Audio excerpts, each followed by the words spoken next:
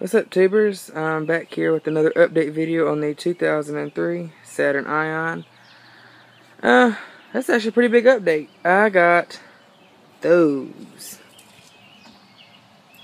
There for a while I had the optional alloys for the Ion 2. Well this week I went and bought the standard alloys off an Ion 3 and put them on the car.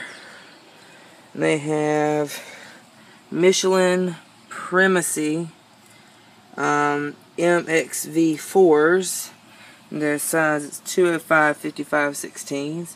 They are in very good shape.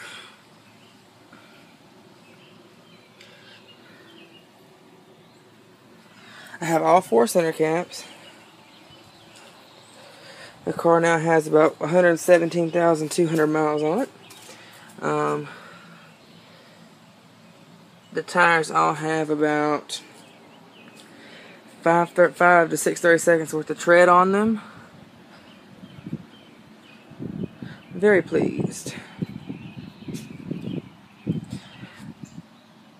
On my YouTube page, there is a updated picture of the car with the new wheels on it.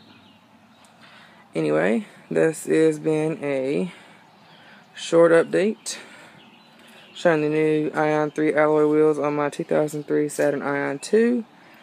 Anyway, thank you all for watching, and I'll catch you in the next one.